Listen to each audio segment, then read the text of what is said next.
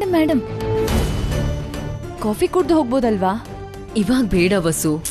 ಆರಾಮಾಗಿ ಎರಡು ನಿಮಿಷ ಕೂತ್ಕೊಂಡು ಹೋಗಿ ಮೇಡಮ್ ಆಗಲ್ಲ ವಸು. ನನಗೆ ಬರಬೇಕು ಅಂತ ಅನ್ನಿಸ್ತಾ ಇಲ್ಲ. ಬಾಯ್.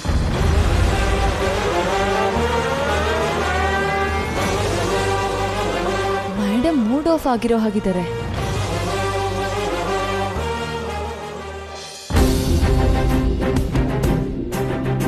ಋಷಿ ಡ್ಯಾಡ್ ಡ್ರಾಪ್ ಏನಾದರೂ ಬೇಕಿತ್ತಾ?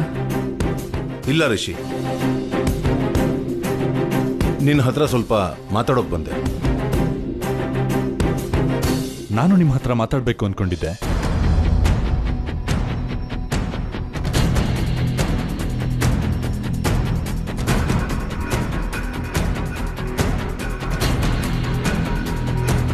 ಡ್ಯಾಡ್ ನನ್ನ ಮೇಲೆ ಏನಾದರೂ ನೀವು ಕೋಪ ಮಾಡ್ಕೊಂಡಿದ್ದೀರಾ?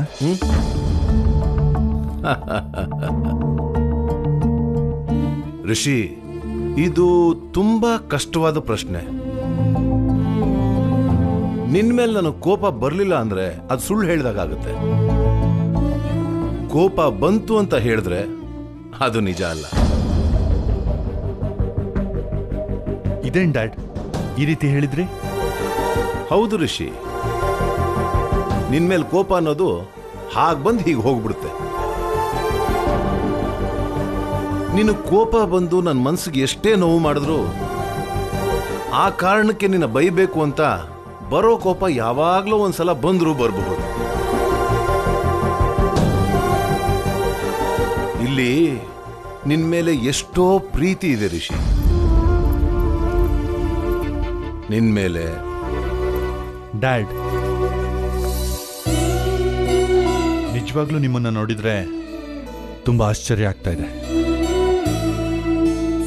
ಇಲ್ಲಿವರೆಗೂ ನನ್ನ ನಡವಳಿಕೆ ನಿಮಗೆ ಕೋಪ ತರಿಸ್ತೇನೋ ಅಂತ ಅಂದ್ಕೊಂಡೆ. ಋಷಿ ನಿನ್ನ ಮನ್ಸಿಗೆ ಬಂದಿದ್ದನ್ನ ನೀನು ಮಾಡ್ತೀಯ? ಆದ್ರೆ ನನ್ನ ಮನ್ಸಿಗೆ ಅನ್ಸಿದ್ದನ್ನ ನಾನು ಮಾಡೋಕ್ಕಾಗಲ್ಲ, ಹೇಳೋಕ್ಕೂ ಆಗಲ್ಲ. ಕಾರಣ, ಪ್ರೀತಿ ಪ್ರೀತಿ ಅಡ್ಡ ಬರುತ್ತೆ ಋಷಿ ಅದು ಒಂದು ಎಲ್ಲದನ್ನು ಸಹಿಸ್ಕೊಳ್ಳುತ್ತೆ. ಡ್ಯಾಡ್ ನಾನು ಕೂಡ ನಿಮಗೆ ತೊಂದರೆ ಕೊಡಬಾರ್ದು ಅಂತ ಅಂದ್ಕೊಳ್ತೀನಿ. ಆದ್ರೆ ಒಂದೊಂದ್ಸಾರಿ ಹಾಗೆ. ಋಷಿ ಏನ್ ನಡಿಬೇಕೋ ಅದು ನಡಿಲಿ ಬಿಡು. ನಡೆಯೋದ್ರ ಬಗ್ಗೆ ಒಳ್ಳೇದಾಗ್ಲಿ ಅಂತ ಆಸೆ ಇಟ್ಕೊಳ್ಳೋಣ. Bye dad bye Rishi.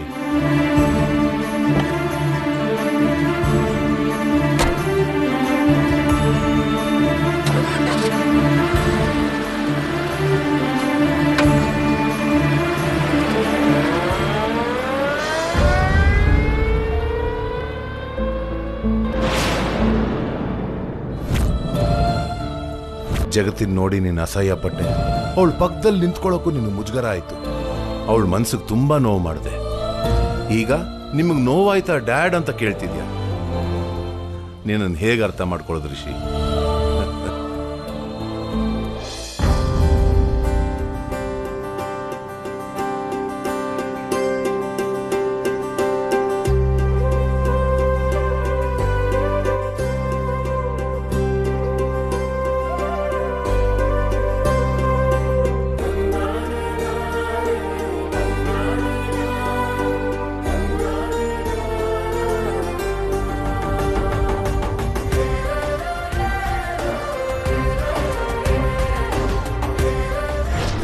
ಪ್ರಾಣ ಇಲ್ಲದೆ ಇರೋ ವಸ್ತುನೇ ಆಗಿರಬಹುದು. ಅದನ್ನ ಮನಸ್ಸಿಂದ ನೋಡಿದ್ರೆ ಅದರಲ್ಲಿ ಪ್ರೀತಿ ಕಾಣಿಸುತ್ತೆ ಸರ್.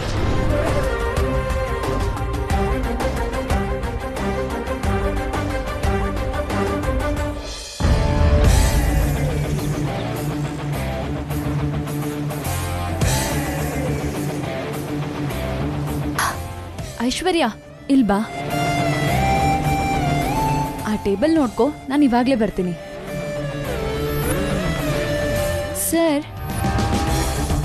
ನೀವ್ ಯಾವಾಗ ಬಂದ್ರಿ? ಕರಿಬೋದಿತ್ತಲ್ವಾ ಸರ್? ಆದ್ರೆ ತಾವು ತುಂಬಾ ಬ್ಯುಸಿಯಾಗಿದ್ರಿ. ಅಂದಹಾಗೆ ಇಲ್ಲಿ ನನಗೆ ಅಧಿಕಾರ ಅನ್ನೋದು ಸ್ವಲ್ಪ ಕಡಿಮೆನೇ ಅಲ್ವಾ?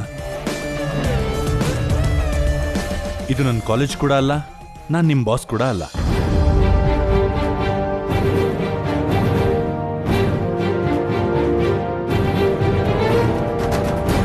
ಅಮ್, ಕಾಫಿ ತಗೊಂಡ್ ಬರ್ಲಾ?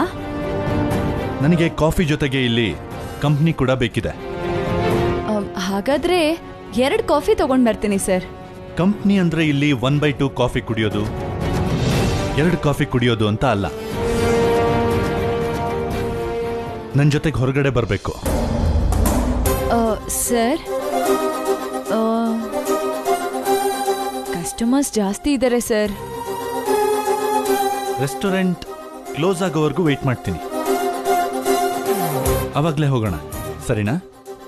ಪರವಾಗಿಲ್ಲ, ಸರ್. ಹೇಗಾದರೂ ಮಾಡಿ ನಾನೇ ಪರ್ಮಿಷನ್ ತಗೋತೀನಿ, ಸರ್.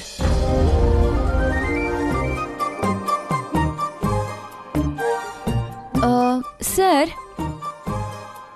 ಹಾ, ನೈಟು ಫೋನ್ ಯಾಕೆ ಮಾಡಿದ್ರಿ ಅಂತ ನೆನ್ಪಾಯ್ತಾ? ನೆನ್ಪು ಮಾಡ್ಕೊಳ್ಳೋದಕ್ಕೆ ನಾನದನ್ನ ಮರ್ತಿಲ್ಲ.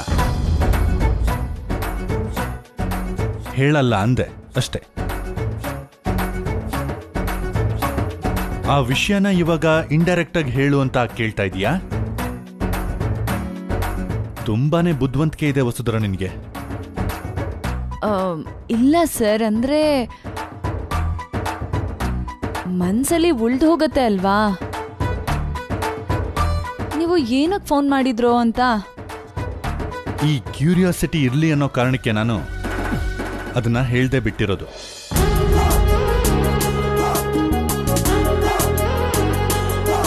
ಟೆನ್ಷನ್ ಮಾಡ್ಕೋಬೇಡ. ನಿನಗೆ ಕಂಗ್ರಾಟ್ಸ್ ಹೇಳಬೇಕು ಅಂತ ಫೋನ್ ಮಾಡಿದ್ದೆ. ಎಡ್ಯುಕಲ್ಚರ್ ಪ್ರೋಗ್ರಾಮ್ ಅಲ್ಲಿ ಡ್ಯಾನ್ಸ್ ಚೆನ್ನಾಗಿ ಮಾಡಿದೆ. Thank you sir. ಕಾಫಿ ತಗೊಂಡ್ ಬರ್ತೀನಿ. Coffee okay. ಕಂಪ್ನಿ ವಿಷಯ ಏನು?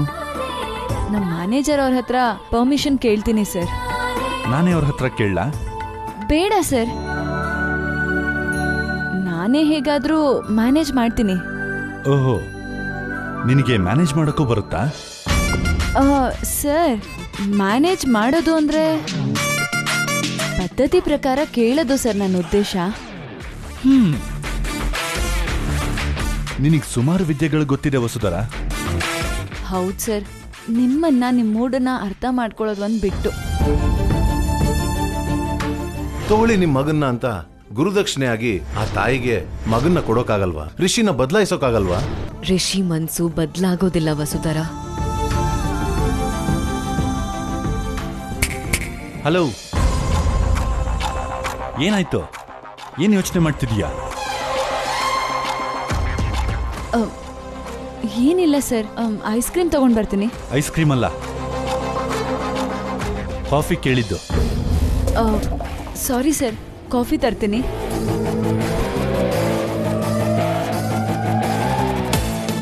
ಈ ವಸುಧರಾಗೇನಾಗುತ್ತೋ ಇದ್ದಕ್ಕಿದ್ದ ಹಾಗೆ ಬೇರೆ ಲೋಕಕ್ಕೆ ಹೋಗ್ಬಿಡ್ತಾಳೆ.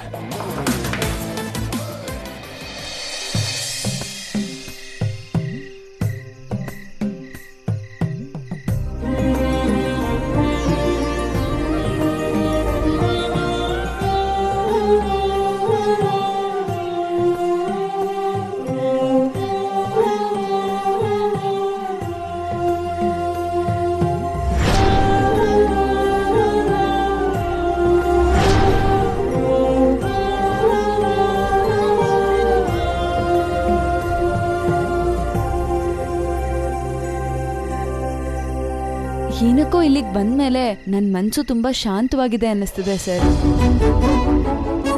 ಅದು ನಾವಿರುವಂತ ಮೂಡ್ ಮೇಲೆ, ನಾವಿರುವಂತ ಟೈಮ್ ಮೇಲೆ ಡಿಪೆಂಡ್ ಆಗಿರುತ್ತೆ ವಸುಧರ.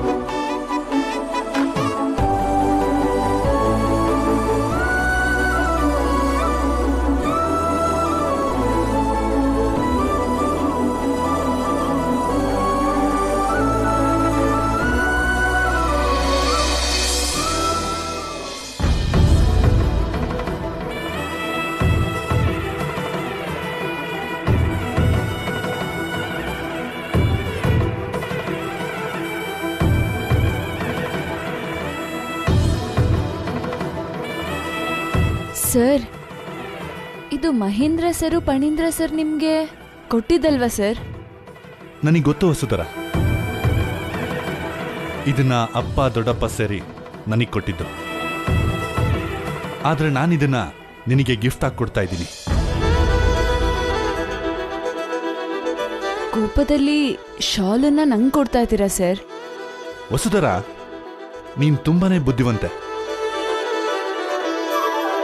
ಆದ್ರೆ ಕೆಲವೊಮ್ಮೆ ನೀನು ಬುದ್ಧಿ ಇಲ್ದೇ ಇರೋ ತರ ಮಾತಾಡ್ತಿರ್ತೀಯ? ವಿಚಿತ್ರವಾಗಿ ಯೋಚನೆ ಮಾಡ್ತೀಯ? ಇದು ಬರೀ ಶಾಲ್ ಅಲ್ಲ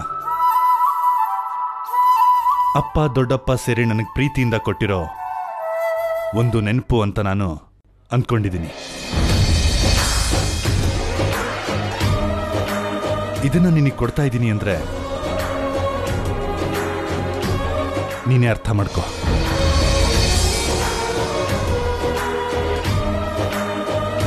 ಚಿಕ್ಕ ವಯಸ್ಸಲ್ಲಿ ನಾವು ಆಟ ಆಡ್ತಾ ಇದ್ದ ಗೊಂಬೆನ ಯಾರಿಗೂ ಕೊಡಬಾರ್ದು ಅಂತ ಅನ್ನಿಸ್ತಾ ಇತ್ತು.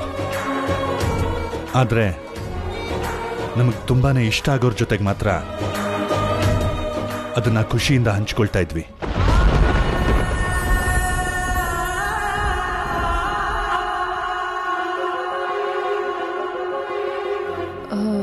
ಸರ್? ಸುಮಾರು ದಿವಸಗಳಿಂದ ನಿನಗೊಂದು ಒಳ್ಳೆ ಗಿಫ್ಟ್ ಕೊಡಬೇಕು ಅನ್ನೋದು ಮನ್ಸಲ್ಲಿ ಹಾಗೆ ಉಳಿದು ಹೋಗಿತ್ತು ದುಡ್ಡು ಕೊಟ್ಟು ತಂದ್ರೆ ಅದ್ರ ಬೆಲೆ ಏನೋ ಹೆಚ್ಚಾಗಿರುತ್ತೆ ಆದ್ರೆ ಅದಕ್ಕೆ ಪ್ರಾಮುಖ್ಯತೆ ಇರೋದಿಲ್ಲ. ನೀನು ಸ್ಟೂಡೆಂಟ್ ಆಗಿ ಕಾಲೇಜಿಗೆ ಬಂದ್ಮೇಲೆ ನಾವು ಎಷ್ಟೋ ಸಾರಿ ಜಗಳ ಆಡಿದೀವಿ. ಆವಾಗ ಆವಾಗ ಏನೋ ಒಂದು ಗೊತ್ತಿಲ್ಲದೆ ಇರೋ ಥರ ಕ್ಲೋಸ್ನೆಸ್ ಫೀಲ್ ಆಗ್ತಾ ಇರುತ್ತೆ.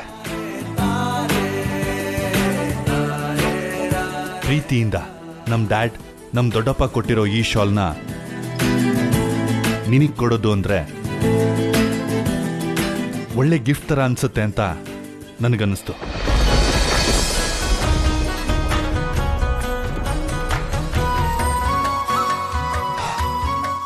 ನನ್ನ ಮನಸ್ಸಲ್ಲಿರೋದನ್ನೆಲ್ಲ ನನ್ನ ಮಾತಲ್ಲಿ ಹೇಳೋಕ್ಕಾಗದೇ ಇರಬಹುದು. ಆದರೆ ಮನಸ್ಫೂರ್ತಿಯಾಗಿ ಈ ಶಾಲನ್ನ ನಿನಗೆ ಹೊತ್ಸಿದ್ದೀನಿ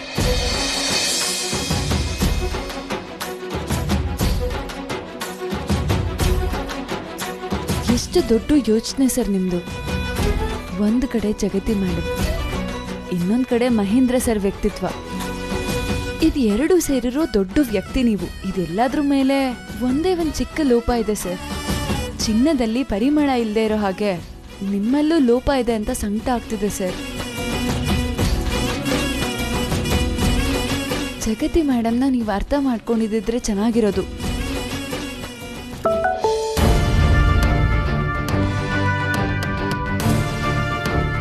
ಯಾರು? ನಿಮ್ಮ ಮೇಡಮ್ಮ? ಆ, ಆ, ಹೌದು ಸರ್. ಇನ್ನು ಮನೆಗೆ ಹೋಗಿಲ್ಲ ಅಂತ ಮೇಡಮ್ ಟೆನ್ಷನ್ ಮಾಡ್ಕೊಂಡಿರ್ತಾರೆ ಸರ್. ಟೆನ್ಷನ್ ಮಾಡ್ಕೊಂಡಿದ್ದಾರಾ? ಟೆನ್ಷನ್ ಕೊಡ್ತಾ ಇದ್ದಾರಾ?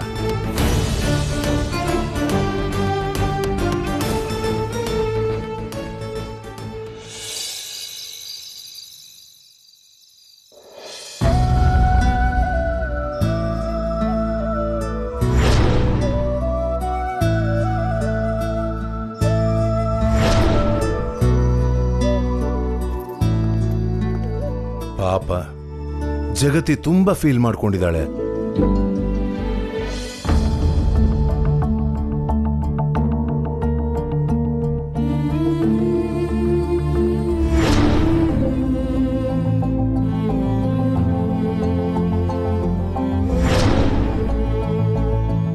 ಪಾಪ ನಮ್ಮಿಬ್ಬರ ಮಧ್ಯ ಮಹೇಂದ್ರ ಸ್ವರ್ಗ ಹೋಗ್ತಿದ್ದಾನೋ ಏನೋ.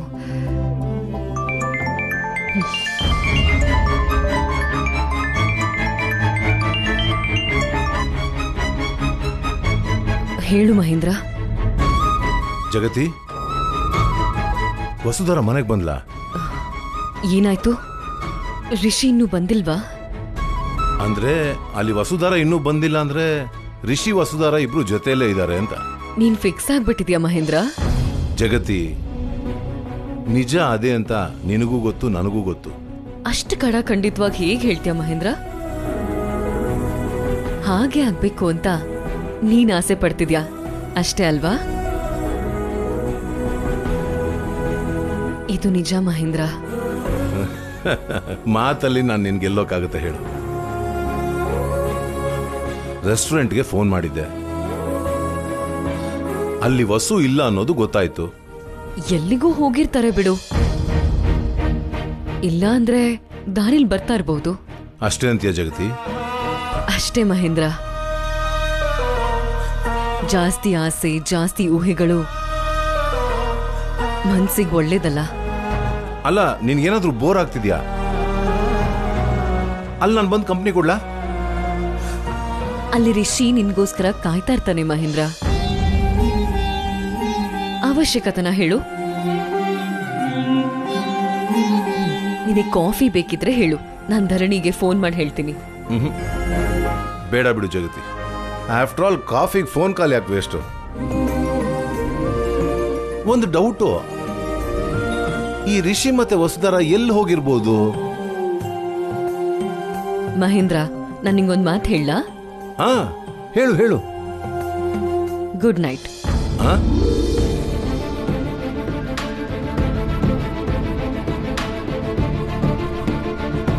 ಗುಡ್ ನೈಟ್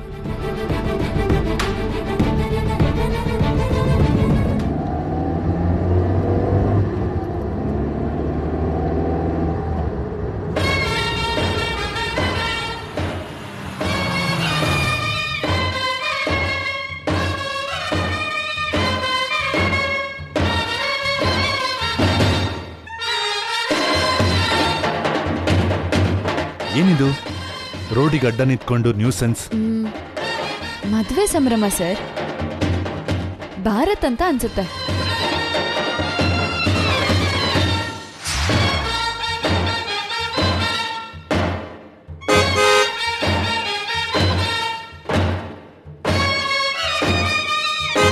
ಕಾಣಿಸ್ತಾ ಇಲ್ವಾ ಸರ್? ಐದ್ ನಿಮಿಷ ಇರಿ. ಬಾರಾದ್ ಹೋಗ್ತಾ ಇದೆ. ಎಲ್ಲೋಗ್ತೀರಾ? ಇರಿ.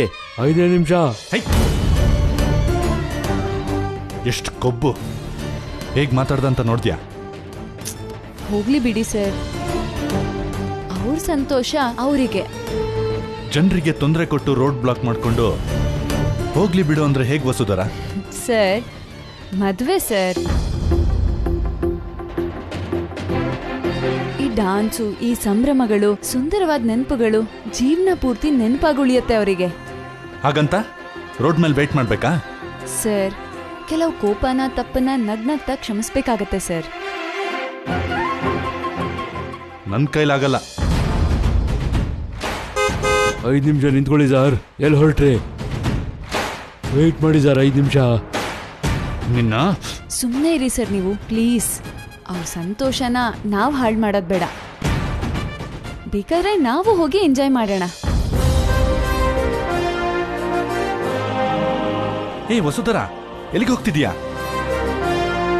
ನೋಡು ಅವರೆಲ್ಲ ಹೇಗ್ ಕಾಣಿಸ್ತಾ ಇದ್ದಾರೆ. ಕಾಣಿಸೋದೆಲ್ಲ ನಿಜಾನೇ ಆಗ್ಬೇಕಂತೇನೂ ಇಲ್ಲ ಸರ್.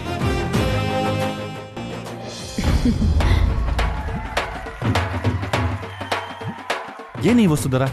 ಇದ್ದಕ್ಕಿದ್ದಾಗೆ ಹೋದ್ಲು. ಇವಾಗ ಏನ್ ಮಾಡ್ತಾಳೆ? ಅವ್ರಿಗೆ ಬೊಕ್ಕೆ ಕೊಡ್ತಾಳಾ?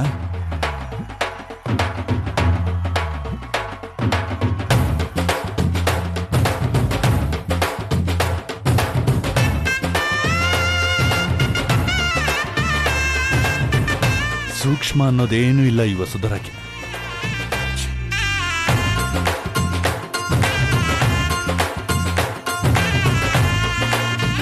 ಮುಂದುವರೆದು ಇಲ್ಲಿ ಡ್ಯಾನ್ಸು ಮಾಡ್ತಾಳೋ ಹೇಗೆ?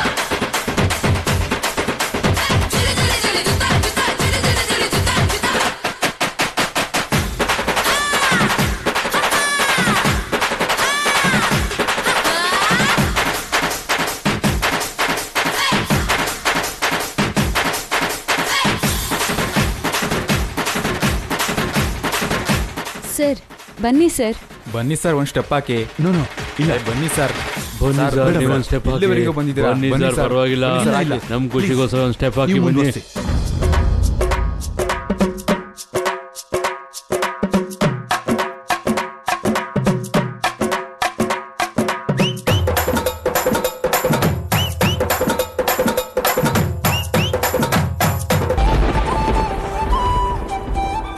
ಈ ಕೈಗೆ ನೋವಾಗಿದ್ದ ಅದು ಒಂದು ಚಿಕ್ಕ ಗಾಯ ಆಗಿದೆ ಸರ್.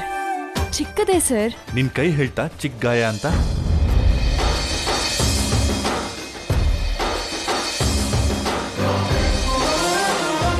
Thanks sir. ಯಾವುದಕ್ಕೆ? ಬ್ಯಾಂಡೇಜ್ ಹಾಕಿರೋದಕ್ಕೆ. ಸಹಾಯಕ್ಕೆ ಸಹಾಯ. ಸರ್. ರೆಸ್ಟೋರೆಂಟ್ ಅಲ್ಲಿ ನನ್ನ ಕೈಗೆ ಬ್ಯಾಂಡೇಜ್ ಕಟ್ಟಿದ್ಯಲ್ಲ ಅದಕ್ಕೆ ಸಹಾಯಕ್ಕೆ ಸಹಾಯ.